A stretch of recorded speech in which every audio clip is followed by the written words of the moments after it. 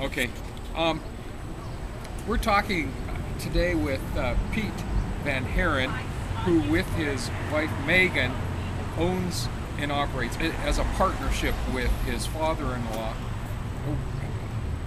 the Main Street Grind sandwich and coffee business in Miles City.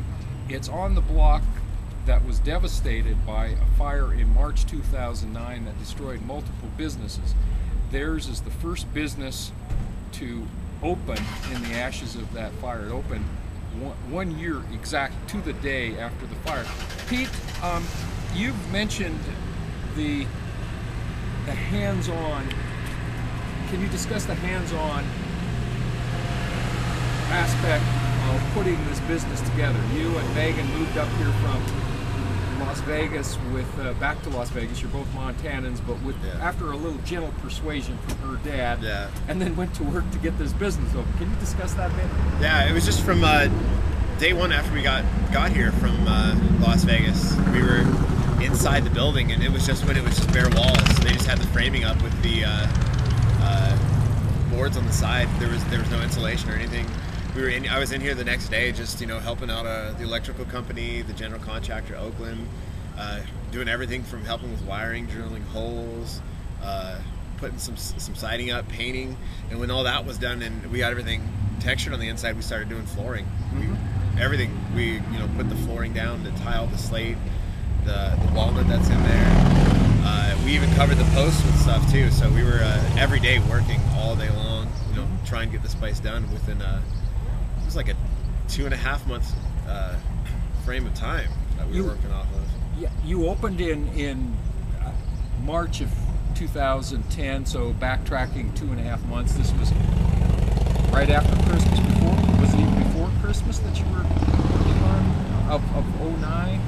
You know when when did you when did you said you arrived back in Montana? Oh well, we left uh, January. January of okay. this year. Yeah, okay. Yeah. And and and you had uh, you had to, you, you mentioned that you had to drive pretty much in a blizzard all the way Oh, up yeah. here. You're That driving fun, at 30 yeah. miles an hour through West Yellowstone. Did you did you both even though you're both Montanans, you know Montanans are hardy folks, but did you Yeah. ever look at each other and say, "What in the world are we doing?" you know, it was more of a more of a kind of happy to just see weather again. You know, Mm-hmm. I think we're both just both growing up in Montana and having you know all four seasons, and then of course the extreme extreme winter.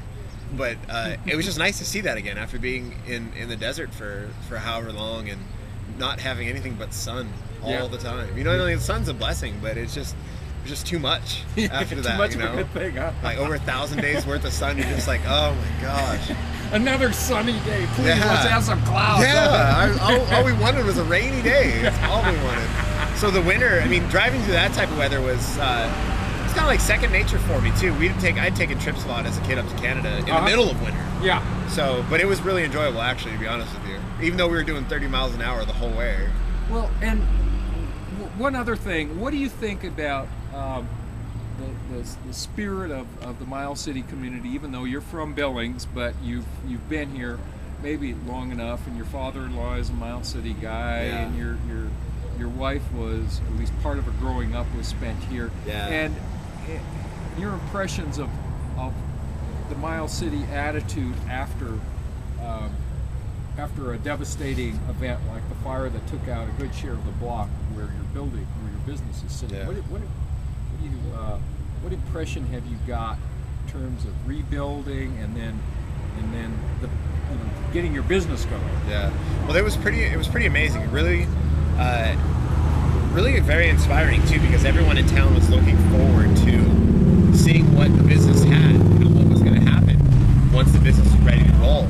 And uh, we used local contractors. You know, from from the laying the concrete, the foundation, and everything, to the building, to the plumbing, to the electrical work, the glass. Uh, uh, the signs, everything we did was, was from the local community, and everybody was just so excited. It was such a, a positive energy and a really positive reinforcement, uh, you know, throughout the whole process. And, and from when everybody heard about what, what was going to go here to when it opened, and even till now, everyone on a daily basis that comes in, you know, it's just such a positive, exciting energy all the time. Great, It's really, really nice. great. Well, thank you, Pete.